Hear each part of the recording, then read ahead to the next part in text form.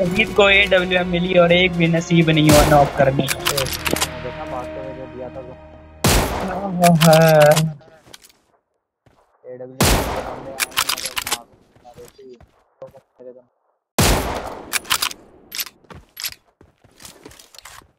देखा